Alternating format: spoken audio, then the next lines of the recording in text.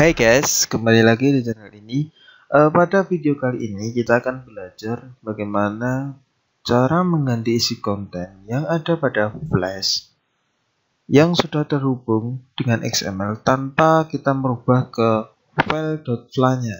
Nah, bagaimana caranya? Oke, langsung saja uh, menuju langkah pertama. Kita perta harus menyiapkan dulu uh, tiga file sebenarnya dua juga bisa uh, yang pertama yaitu filenya .fla yang kedua yaitu filenya .xml dan yang ketiga adalah .svf nah dari ketiga format ini. Nah bagaimana sih? Mau apa sih yang mau kita rubah? Nah ini guys. Nah kita akan merubah isinya ini guys. Nah ada banyak ya. Nah kita akan merubah isinya ini.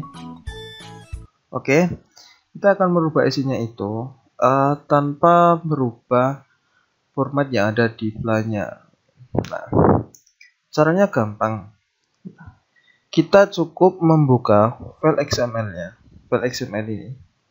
Nah, file XML-nya kita ubah, kita buka dulu. Oke, sudah kita buka ini.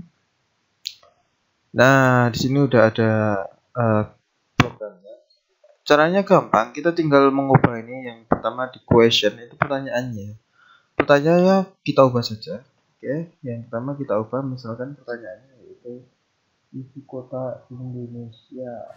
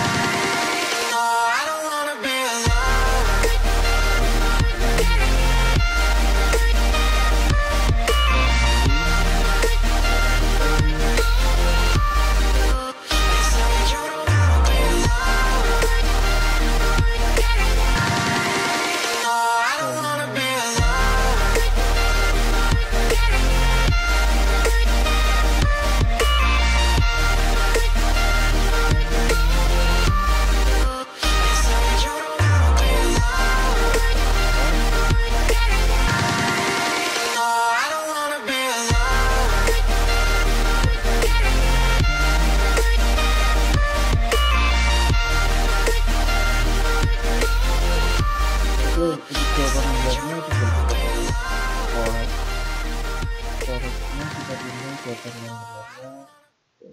okay guys, nah sudah kita ubah dari soal-soalnya kita sudah dapat tiga soal saja. Nah, nanti yang akan kita munculkan cuma dua saja. Langsung kita save, sudah langsung selesai. Nah, kita cek sudah berubah belum? Ya, sudah berubah ya. Nah, berubah ini guys. Ya, seperti itu saja seperti itu ya guys e, caranya cara mengubahnya. Jadi jangan bingung cara mengubahnya cuma sederhana seperti itu. Oke okay, see you next time. Thanks for